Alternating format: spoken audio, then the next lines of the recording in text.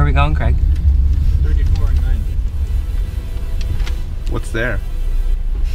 I'm hair blondie. We're at B&H today. Any filmmaker will know what B&H is. And it's pretty quiet here. Yeah, if you come to New York City and you're a filmmaker, you should come to B&H because it's magical.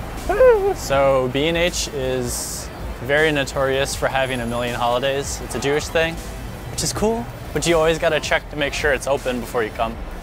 Always check. So welcome, welcome to B&H where you will get frustrated about people being in your way. So last week I bought a uh, Dedo light and they sold me like an $800 light with no bulb. So I bought the bulb I needed. It's just like a $10 bulb, but they convinced me to get a barn doors as well. You go up to these people and you um, just tell them what you want. They print out a slip and then it takes a couple seconds for them to get it out of the workshop or the, the warehouse.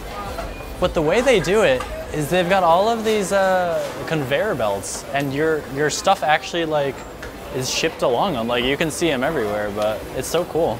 Makes it quick and easy. Crafty. So now, uh, so now we're gonna buy a little drone.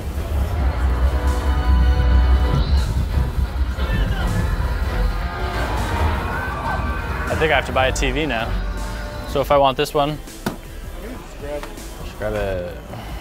is that the color you want? Oh, is it? I want Color is usually uh, marked on the side. that a red drone. What color do we want? What's your favorite color? I like the red or the black. Green it is. No, I'm kidding. I like the white. I think white's cool. What what are what are our options? We got red, Those are the only four options. red, and white. I'm a Red minimalist. and white. Um, the red is swagalicious. They've got so many lenses and cameras and Manfrottos. It's a lot of good stuff. This, it's like fun to be here and just like to look around and stuff. But like there's two types of people. There's like the tourists who are kind of like, I know cameras and things. And then there's like the professionals and you can always tell who's who. Because like it's the speed at which they're walking.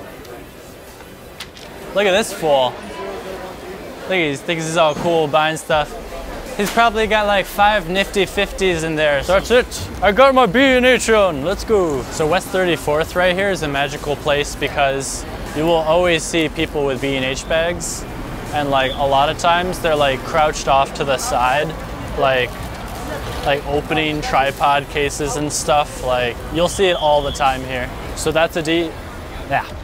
So that's the day at B&H. That's the day at B&H. I got what I need. I hope to see you in here someday yourself. Nice. Whoa. So now we're gonna go back. Ready?